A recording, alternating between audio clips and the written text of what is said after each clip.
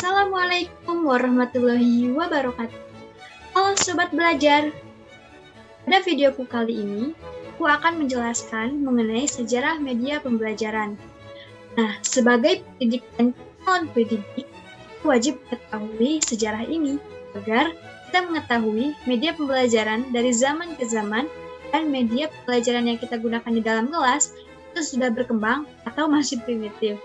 Nah, untuk mengetahui lebih lanjut, kita simak videonya. Nah, teman-teman, sebelum ke pembahasan lebih lanjut, kita harus mengetahui apa itu media pembelajaran. Hmm, kira-kira media pembelajaran itu apa ya? Nah, jadi media pembelajaran merupakan segala sesuatu yang dapat digunakan untuk menyampaikan pesan ataupun informasi dalam proses belajar mengajar sehingga dapat merangsang perhatian minat dan siswa untuk belajar.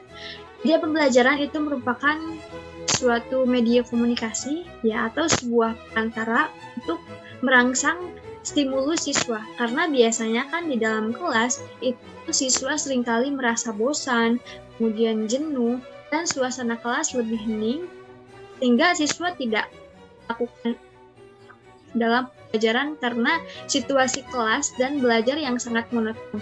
Oleh sebab itu, guru harus berperan kreatif dan aktif sehingga dapat memotivasi dan memberikan kesan yang lebih positif pada siswa dalam proses belajar mengajar. Nah, dari tahun ke tahun, media pembelajaran selalu mengalami perkembangan, tidak hanya dalam dunia industri, sosial, politik. Di sini, pendidikan pun turut andil dalam proses perkembangan. Karena ketika pembelajaran melalui proses perkembangan, otomatis pola pikir siswa dan guru itu lebih modern, lebih canggih, dan lebih lebih interaktif di dalam kelasnya, sehingga menciptakan siswa yang unggul ada masa yang akan mendatang. Nah, kembangan media pembelajaran itu dimulai dari teknologi, ilmu komunikasi, dan teori belajar. Untuk teknologi, ini media pembelajaran yang berbasis TIK, dapat berupa internet, intranet, kemudian mobile phone, juga CD-ROM, atau dapat berupa flash disk portable yang dapat kita bawa ke mana saja, dan yang sangat familiar sekali dan sangat eh, digunakan di masa pandemi ini yaitu e-learning. Nah, semenjak merebaknya COVID-19, itu teknologi sangat berkembang pesat. Karena ya media pembelajaran yang aktif digunakan yaitu dengan teknologi, dengan berbasis teknologi. Nah, karena teknologi sekarang itu lebih modern, lebih canggih, dan otomatis guru di sini harus lebih berkembang, harus lebih mengetahui, harus lebih untuk menggunakan teknologi sebagai media pembelajaran.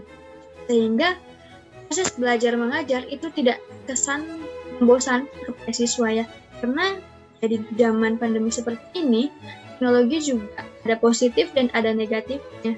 Sehingga di sini guru harus uh, pinter-pinter, harus kreatif dalam menggunakan komunikasi teknologi.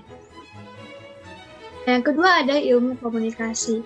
Nah, biasanya sebelum COVID-19 ya mungkin sebelum ya mungkin sebelum sebelumnya dari zaman zaman sebelumnya juga ilmu komunikasi kan biasanya dilakukan dengan face to face antara guru dan murid.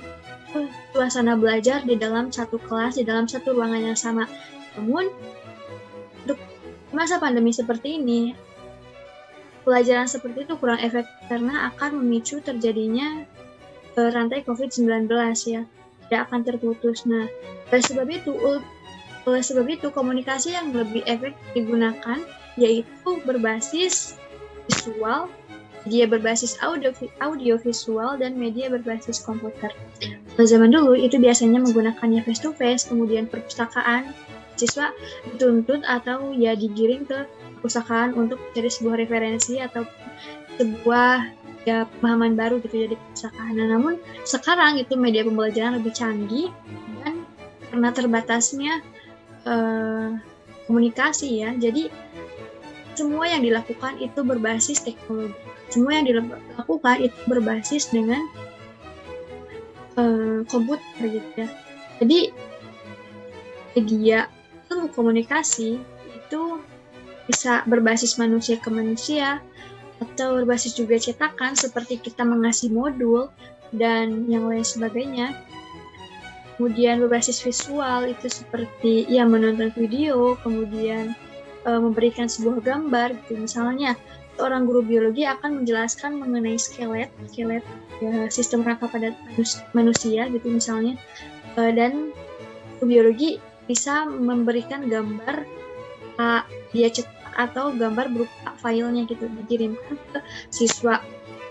Itu berbasis uh, visual dan media berbasis audio audio visual. Misalnya saya nih sedang merekam uh, suatu dia pembelajaran ya.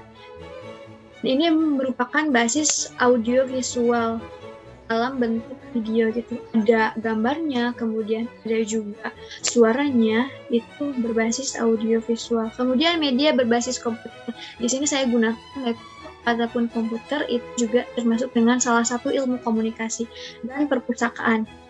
Sekarang media perpustakaan itu tidak hanya dalam bentuk pangan seperti yang ada di sekolah-sekolah, namun sekarang banyak sekali aplikasi-aplikasi yang di dalamnya memuat seperti perpustakaan. Seperti salah satunya ada Pusnas gitu ya. Il, uh, ya teknologi yang memang di sana seperti kita meminjam buku di perpustakaan. Untuk lebih lanjutnya mungkin uh, teman-teman bisa mengunduh aplikasi tersebut. Karena di sini tidak akan saya jelaskan. Mungkin ya waktunya terlalu panjang gitu ya. Oke, kemudian ada teori belajar. Di sini itu tata cara pengaplikasian kegiatan belajar mengajar antara guru dan siswa. Rancangan metode pembelajaran yang akan dilaksanakan di kelas maupun di luar kelas. Nah, untuk teori belajar ini sangat ya, sangat berkesinambungan antara teknologi dan ilmu komunikasi. Karena yang melakukan suatu pembelajaran itu siswa dan sebagai transfer ilmunya yaitu guru. Jadi di sini antara guru dan siswa itu berperan aktif dalam mengembangkan interaksi komunikasi dan interaksi untuk melakukan sebuah proses pembelajaran. Dan di sini teknologi, kemudian ilmu komunikasi dan teori belajar itu sangat berkesinambungan karena tidak mungkin guru memberikan suatu pelajaran ataupun mentransfer ilmu kepada siswanya namun tidak adanya komunikasi. Dan eh, komunikasi juga tidak akan berjalan, komunikasi juga tidak akan uh, beriringan gitu ya. Komunikasi juga tidak akan pastinya akan selalu merasa jenuh dan bosan kepada siswanya. Oleh sebab itu peran teknologi sangat dibutuhkan untuk merangsang ataupun menstimulus belajar pada siswa. Terdapat 12 tingkatan pengalaman belajar. Tadi menurut Edgar Bell bahwasannya pengalaman yang hanya melalui visual saja itu akan memberikan pengalaman yang kurang gitu ya kepada siswa oleh sebab itu terdapat beberapa tingkatan pengalaman belajar siswa untuk menarik siswa lebih lebih motivasi dalam belajar atau bisa juga dengan disebut, memberikan stimulus belajar pada siswa gitu. Oke, 12 tingkatan tersebut, yang pertama itu ada direct purposeful experiences, kedua ada quantified experiences, ketiga ada dramatic experiences, yang keempat ada demonstration, yang kelima ada study tips, yang keenam ada exhibition, yang ketujuh ada educational television, yang kedelapan ada motion picture, yang kesembilan ada still picture, yang kesepuluh ada radio and recording, yang kesebelas ada visual symbol, dan yang terakhir ada verbal symbol. Nah, tingkatan yang paling tinggi adalah pengalaman yang paling konkret, sedangkan yang paling rendah adalah pengalaman yang paling abstrak. Yang paling abstrak itu uh, siswa hanya memperoleh pengalaman yang sedikit saja, seperti mengandalkan bahasa verbal. Kemudian uh, di sini akan pengalaman yang diperoleh siswa itu lebih sedikit, ya. Ya ini yang dinamakan dengan uh, apa namanya pengalaman belajar abstrak ini pengalaman yang abstrak. Oke yang pertama ada direct purposeful experiences. Pengalaman yang diperoleh dari kontak langsung dengan lingkungan objek objek kemudian binatang manusia dan sebagainya dengan cara pembuatan secara langsung. Oke, misalnya di sini uh, dalam mata pelajaran biologi ataupun IPA di tingkat SMP itu siswa melakukan pengamatan secara langsung, misalnya melakukan ya pengamatan ekosistem sawah. Nah, di sana siswa digiring ke tempat yang berhubungan dengan ekosistem sawah. Di sana mereka bisa mengamati uh, ya ekosistem-ekosistem yang berada di sawah. Misalnya terdapat ya padi mungkin ya, kemudian uh, dan binatang-binatang yang ada di sana, kemudian serangga-serangga atau insekta-insekta yang ada di sana, ini merupakan salah satu pengalaman belajar siswa uh, melalui direct purposeful experience. Jadi mereka mengekspresikan dengan uh, dengan experience eksperimen eksperimen eksperimen mereka di sana gitu. Jadi uh, pengalaman siswa yang satu ini lebih berkesan karena mereka akan melihat secara langsung uh, lingkungan ataupun objek yang terdapat di sana yang berhubungan dengan mata kuliah tersebut. Oh, mohon maaf, mata pelajaran tersebut. Oke, okay, next. Yang kedua ada classified experiences. Ini merupakan pengalaman yang diperoleh dari kontak melalui model, benda tiruan, atau simulasi. Ya, salah satunya misalnya guru menerangkan mengenai skelet ataupun sistem rangka pada manusia. Nah, di sini uh, guru akan melakukan ataupun memberikan suatu simulasi ataupun tiruan berupa pentum ya yang berupa uh, kerangka tubuh manusia. Nah, di sini disebut dengan contrived experiences. Jadi mereka ataupun siswa peserta didik kita bisa melihat benda tuan seperti itu dan ya bisa uh, secara otomatis gitu mereka akan melihat gambaran bahwasanya skelet pada tubuh manusia itu seperti itu gitu. Jadi ada benda tiruannya kemudian ya mereka bisa mengekspresikan bahwasanya rangka-rangka yang ada di tubuh mereka itu akan sama dengan apa yang mereka lihat gitu akan sama dengan apa yang mereka uh, lihat pada tuan benda tersebut. Yang ketiga ada dramatis experiences. Ini berupa pengalaman yang diperoleh melalui permainan kan di warna mereka permainan peran dan drama sosial. Ini lebih ke ya drama-drama mengenai mata pelajaran tertentu ya. E, seperti ya misalnya ini tidak bisa diekspresikan dalam mata pelajaran biologi ya menurut saya gitu. Karena ya ini karena biologi itu bukan didramatis tapi ya dipelajari gitu tapi ini ada drama-drama seperti ya mungkin lebih ke pembelajaran-pembelajaran yang berhubungan dengan sastra gitu ya seperti bahasa Indonesia ini eh, dapat menarik pengalaman baik sirat maupun surat dari yang tersebut misalnya siswa dapat eh, memperoleh pengalaman dari seseorang dan bisa dijadikan sebagai acuan ataupun sebagai inspirasi, motivasi uh, dalam pengalaman hidupnya gitu dengan kita orang lain. Ya, ini dinamakan dengan dramatic experiences. Oke, kemudian ada demonstration. Ini merupakan pengalaman yang diperoleh dari pertunjukan. Seperti dengan cara halnya membedah katak. Itu ya guru biologi harus bisa mendes mendemonstrasikan bagaimana cara membedah katak dan memberitahukan bahwasannya di dalam kerangka dan anatomi-anatomi di dalam tubuh katak itu seperti itu dan dilakukan dengan demonstrasi. Kemudian ada study tips. Ini e, merupakan pengalaman yang diperoleh melalui karya wisata. Ya biasanya siswa SMP maupun siswa SMA itu dilakukan dengan namanya apa ya uh, rihlah gitu ya. Atau study tour. Ini sangat bagus sekali. Misalnya uh, guru biologi itu atau guru IPA itu misalnya study trip ke uh, Waka Marga Satwa gitu atau ke Cagar Alam merupakan suatu pengalaman yang secara langsung dan itu juga akan berkesan gitu dalam belajarnya.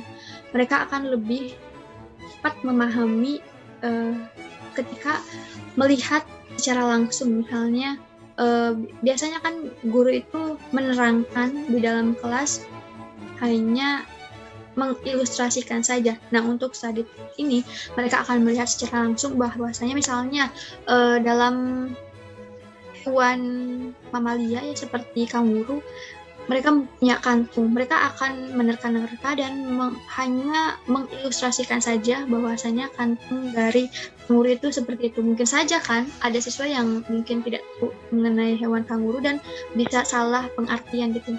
Nah, kalau di dalam study trips ini mereka akan melihat secara langsung bahwasanya oh di dalam tubuh kanguru itu seperti ini. Kemudian kantungnya itu sebelah sini dan anak kanguru itu disimpannya di dalam kantung tersebut. Mereka tidak hanya mengilustrasikan lagi tapi juga akan melihat secara langsung. Yang ter yang keenam itu ada exhibition, yaitu pengalaman yang diperoleh melalui pameran. Ya, misalnya uh, ini banyak sekali di Kabupaten Ciamis pameran pameran-pameran ataupun ada juga ya suatu pertunjukan yang uh, apa ya namanya museum museum gitu yang bisa menerangkan dan bisa menjadikan suatu media pembelajaran banyak sekali. Seperti ya di kota-kota besar ini biasanya terdapat museum uh, manusia purba ataupun uh, apa namanya dinosaurus dinosaurus ya hewan-hewan purba dan lain sebagainya itu bisa di ya mungkin ini akan berhubungan dengan study trips pameran-pameran yang ia bisa menampilkan dari uh, dari study trips ini. Yang ketujuh ada educational television. Ini pengalaman yang diperoleh melalui televisi pendidikan. Yang kedelapan ada motion picture. Ini pengalaman yang diperoleh melalui gambar, film, hidup ataupun dengan bioskop ya. Yang sudah tadi yang sudah saya katakan sebelumnya bahwa motion picture ini juga memberikan pengalaman belajar namun lebih abstrak ya. Dan ya ini juga salah satu alternatif karena hmm, kalau guru hanya membicarakan saja bahwasanya semut itu kecil misalnya atau gajah itu besar dan ya siswa hanya bisa mengilustrasikan dalam imajinasinya saja. Kalau uh, diberikan dengan keterangan visual ataupun dengan diberikan dengan adanya keterangan gambar dengan ya audio visualnya juga kemudian filmnya misalnya. Dan ya siswa tidak akan menerka-nerka dan tidak akan mengimajinasikan dengan imajinasinya sendiri. Mereka akan memperlihatkan secara langsung bahwasannya oh iya gajah itu besar dan semut itu kecil. Yang sembilan adalah picture di mana still figure ini merupakan pengalaman yang diperoleh melalui gambar mati slide fotografi. Ya, untuk ini gambar mati slide fotografi ini bisa ya seperti gambar-gambar yang terdapat di dalam modul pembelajaran gitu ya. Biasanya di dalam buku pembelajaran, di dalam buku IPA dan biologi itu banyak sekali uh, selain keterangan deskripsinya juga ada keterangan gambarnya.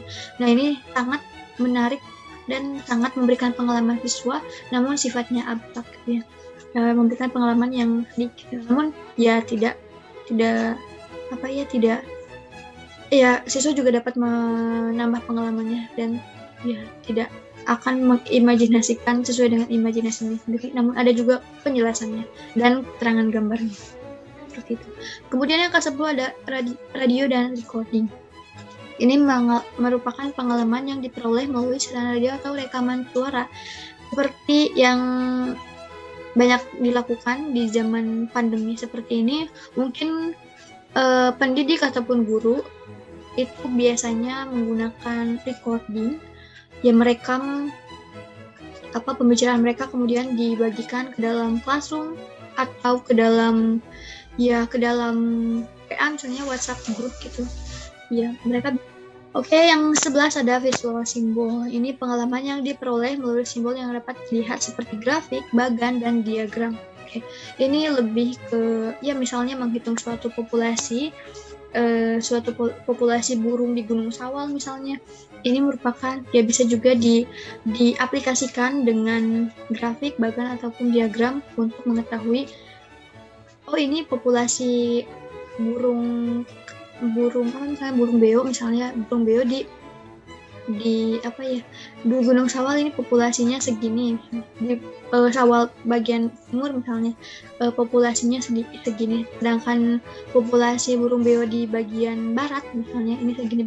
Berarti mereka bisa membandingkan antara populasi yang satu dengan yang satu melalui ya bagan ataupun diagram ataupun grafik gitu ya. Jadi visual lebih mengetahui gitu lebih ya lebih paham mana yang populasinya menurun dan mana populasinya meningkat atau atau beriringan atau sebanding atau balance. Jadi mereka lebih lebih memahami dengan melakukan visual simbol apabila ya seperti tingkatan populasi dan lain sebagainya. Oke, yang terakhir itu ada verbal simbol di mana pengalaman yang diperoleh melalui penuturan kata. Nah, untuk verbal simbol ini juga sangat berhubungan dengan still picture, motion picture, dan radio recording. Jadi adanya pemahaman secara deskripsi, kemudian pemahaman secara gambar, dan adanya recording atau suara dari guru ini juga dapat membangkitkan pengalaman-pengalaman belajar pada siswa. Dan ya e, dalam 12 tingkatan pengalaman pada belajar siswa ini, ini juga adanya ke terhubungan gitu ada keterikatan antara satu dengan yang lainnya karena ya siswa juga tidak akan eh, mohon maaf guru juga tidak akan uh, hanya satu memberikan tingkat pengalaman belajar pada siswanya saja, melainkan juga digunakan dengan aktivitas guru dan adanya pengalaman-pengalaman belajar pada guru tersebut untuk menambah stimulus belajar pada siswa. Jadi suasana belajar pun baik dalam ruangan ataupun di, di luar ruangan, baik menggunakan media eh, mohon maaf baik di dalam media media virtual, media online ataupun di dalam di dalam eh, ruang lingkup offline itu suasana belajar siswa dapat menyenangkan, dapat interaktif dan tidak monoton gitu. Karena ya media pembelajaran juga merupakan salah satu fungsi dan manfaat untuk menambah stimulus belajar pada siswa gitu. Jadi suasana belajar pun tidak hanya stuck di situ saja tapi lebih berkembang dan uh, siswa lebih memahami apa yang mereka mereka pelajari gitu ya karena biasanya kalau misalnya hanya ya pengalaman-pengalaman abstrak saja pengalaman siswa itu lebih sedikit dan cenderung kurang kurang menguasai apa yang mereka pelajari dan kalau siswa sudah merasa seperti itu siswa malah akan apa ya akan tidak termotivasi dalam belajar, akan mengalami penurunan dalam belajar dan tidak semangat bergairah dalam belajar. Karena ketika siswa sudah memahami arti belajar, mereka akan antusias, mereka akan semangat dan akan termotivasi untuk belajar yang mereka senangi gitu ya. Nah, di sini juga teknologi sangat berperan penting untuk meningkatkan stimulus belajar pada siswa. Pada tahun 1900 sampai 1960 sampai 1965 itu orang-orang mulai memperhatikan bahwa siswa sebagai komponen yang penting dalam proses belajar mengajar. Pada saat itu teori pelaku atau behaviorism teori dari uh, Skinner ini mulai mempengaruhi penggunaan media dalam pembelajaran. Dalam teorinya, mendidik adalah mengubah tingkah laku siswa. Teori ini membantu dan mendorong diciptakannya media yang dapat mengubah tingkah laku siswa sebagai hasil proses pembelajaran. Nah, dari tahun 1900-an ini juga media pembelajaran sudah ada, namun yang digunakan itu sangat ya mungkin kalau sekarang digunakan itu bisa dikatakan juga jadul ya. Karena pada zaman dulu mungkin ya tidak dibilang jadul karena disesuaikan dengan perkembangan zaman pada zaman dulu ya. Ya, jadi seperti yang digunakan kayak ya membaca buku atau menggiring siswanya di perpustakaan itu lebih ke sekarang lebih ke pengalaman abstrak gitu ya. Nah, sehingga pada tahun 1900 sampai 1965 sampai 1970 itu eh, pembelajaran menggunakan dengan sistem approach mulai menampakkan pengaruhnya dalam kegiatan pembelajaran. Pendekatan sistem ini mendorong digunakannya media sebagai bagian integral dalam proses pembelajaran. Nah, juga setiap program pembelajaran itu harus direncanakan secara sistematis dengan memusatkan perhatian pada siswa. Nah, kalau sebelumnya tahun 1960-an itu hanya ya komponen dalam proses KBM itu menggunakan media pembelajaran hanya berbasis uh, ucapan saja. Nah, dari tahun 1960 sampai 1970 dan sampai sekarang pun uh, di dalam RPP itu dalam silabus itu kan media pembelajaran dicantumkan gitu ya. Jadi ya uh, dalam media pembelajaran itu uh, dipatkan pada ya sistem approach gitu. Jadi uh, direncanakan gitu ya untuk media pembelajaran ini direncanakan dalam suatu susunan pembelajaran yang sistematis kalau sebelumnya itu kan tidak ada kalau sekarang itu ada di dalam rencana pembelajarannya Gitu. Kemudian program pembelajaran direncanakan berdasarkan kebutuhan dan karakteristik siswa diarahkan kepada perubahan tingkah laku siswa sesuai dengan tujuan yang dicapai. Oke, jadi di sini uh, siswa ketika jadi adanya perubahan laku dari yang tadinya bisa yang tadinya tidak bisa menjadi bisa yang tidak yang tadinya tidak tahu menjadi tahu itu terjadinya adanya terjadinya adanya jadi adanya perubahan tingkah karena uh, seorang siswa yang sudah belajar itu dari awalnya tidak tahu tidak mungkin tidak tahu terus kan. Pasti adanya perubahan tingkah laku adanya perubahan ya dari pola pikir mereka.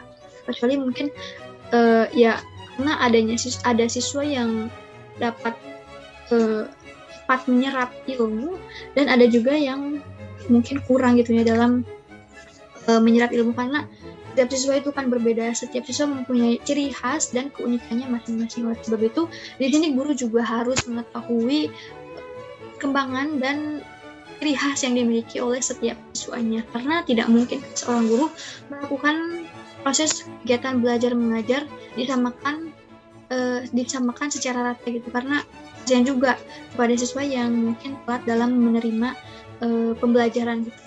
Dan jangan juga disamakan dengan siswa yang cepat menerima materi dari yang disampaikan oleh guru itu tidak akan balance gitu ya karena setiap siswa juga ya mempunyai kekurangan kekurangan dan kelebihannya masing-masing. Kemudian pada dasarnya pendidik dan ahli visual menyambut baik perubahan ini sehingga untuk mencapai tujuan pembelajaran tersebut digunakan sebagai format media ya yang tadinya ya hanya mungkin format media medianya berupa modul atau ya berupa uh, buku-buku biasa gitu ya modul-modul biasa. Nah uh, kalau di sini adanya bahan zaman adanya perkembangan zaman maaf adanya perkembangan zaman jadi lebih jadi lebih di pusatkan lebih ya lebih lebih dikembangkan gitu ya untuk media pembelajarannya.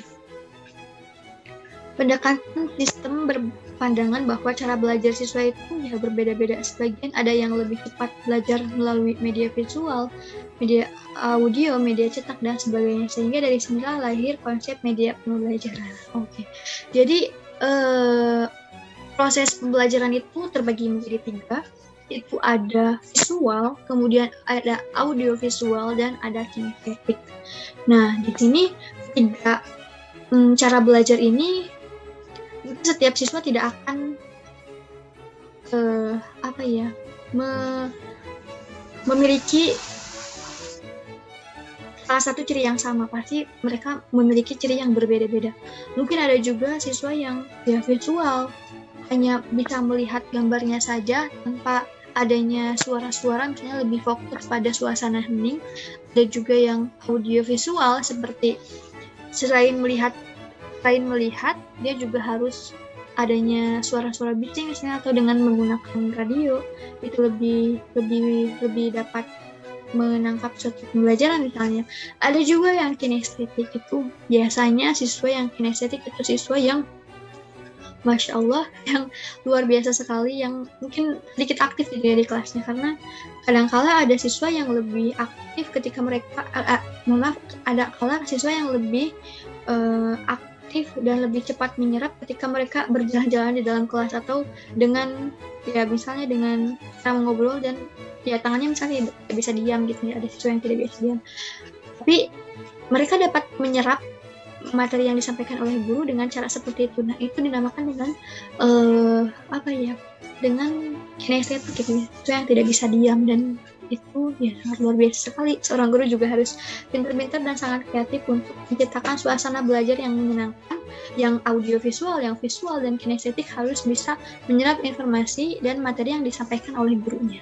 Dan itu bisa dikatakan dengan guru yang berhasil mungkin ya, guru yang dia bisa mendidik semua anak didiknya, bisa mendidik semua anak didiknya menjadi uh, adanya perubahan tingkah laku yang guru inginkan, yang harus dicapai oleh guru suatu pencapaian sekali dan ya memang guru harus dituntut untuk seperti itu nah di sini saya ada quotes bahwasanya teknologi hanyalah sebuah alat dalam dalam hal membuat siswa bekerja sama dan menjadikan mereka termotivasi itu gurulah yang paling utama. Oke, jadi ya meskipun sekarang teknologi sudah berkembang, sudah ya sudah berkembang dengan sesuai dengan perkembangan zaman gitu ya. Dari tahun ke tahun teknologi itu semakin berkembang semakin berkembang. Namun posisi guru itu tidak akan ada yang uh, menggeserkan ya menggeserkan posisi guru. Seburuk-buruknya uh, guru dan semak dan sebaik-baiknya teknologi itu tidak akan ada yang bisa menggeserkan posisi guru. Karena sejatinya itu ya gurulah yang bisa apa ya mendidik siswanya selain mendidik juga selain ya mengajar juga guru bisa mendidik. Kalau teknologi itu hanya bisa mengajar saja hanya memberikan uh, pengetahuan secara materi dan konsep mengenai pembelajaran itu. Namun guru di sini harus bisa mendidik harus bisa mengerahkan siswanya harus bisa memberikan perubahan tingkah laku pada siswanya yang tadinya memiliki selain ya yang tadinya memiliki akhlak yang kurang baik juga harus ya itu juga harus uh, eh, PR jadi guru gitu ya harus ya bisa mengubah anak didiknya menjadi siswa yang lebih sopan lebih mengenal mengenal adab gitu ya adab yang sesama adab yang ke orang tua dan adab yang lebih ke lebih muda darinya gitu. Itu juga guru harus bisa mendidik seperti itu. Jadi semakin canggih teknologi tidak ada yang bisa menggeserkan posisi guru karena guru ya sangat sangat penting sangat dibutuhkan. Ya seperti itu. Meskipun dalam kondisi pandemi seperti ini guru juga ya diberikan satu PR untuk bagaimana siswa saya harus bagaimana siswa, bagaimana saya mendidik siswa melalui ya melalui media virtual atau me melalui media-media online itu juga harus dikembangkan oleh guru bagaimana caranya di dalam situasi pandemi ini harus uh, bisa mengembangkan dan mendidik siswa seperti sebelum pandemi. Jadi ya sangat luar biasa sekali. Tidak ada yang salah dalam teknologi, kemudian tidak ada yang salah juga menjadi guru. Untuk teman-teman teman perjuangan dan teman yang sudah menjadi guru mungkin ya tetap konsisten, tetap sabar dan selalu semangat untuk mendidik uh, anak-anak penerus Oke. Okay. Nah, sobat belajar, itu tadi penjelasan mengenai sejarah media pembelajaran. Jadi, bagaimana? Apakah kalian masih menggunakan media pembelajaran yang dulu atau sudah modern? Komen di bawah ya. Jangan lupa like, comment, and subscribe. Assalamualaikum warahmatullahi wabarakatuh. Nantikan video selanjutnya ya. Bye-bye.